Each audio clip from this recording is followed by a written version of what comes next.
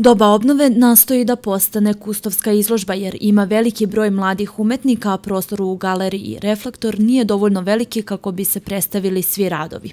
Pa mi smo se trudili da u ova dva prostora koliko toliko koncipiramo neku, da kažem, kustovsku postavku, da mogu radovi da funkcionišu i da budu ovaj, u odnosu jedan prema drugom i nadam se da smo ove godine uspeli to na najvećem nivou mogućem, koliko je ovaj, to dozvoljavala estetika. Mladi umetnici rekli su nam nešto o njihovim radovima i samom idejnom konceptu izložbe i istakli da je velika čast učestvovati na izložbi gdje su postavljeni radovi već istaknutih umetnika.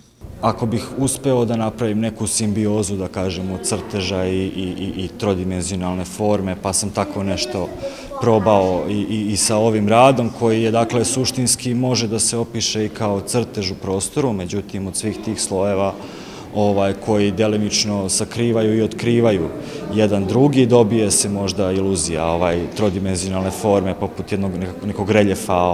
E, pa mislim da e, postoji, e, postoji dosta različitih tendencija koje su e, prikazane na jedan opet zanimljiv način zato što se ta raznolikost uklopila u ovaj jedan prostor.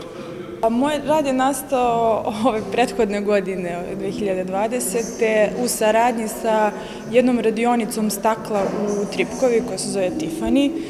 E, želili smo da spojimo malo staklo i moje skulpture u drvetu i da, ovaj, da smo još nešto radili dodatno, ali ove dve su skulpture ostale.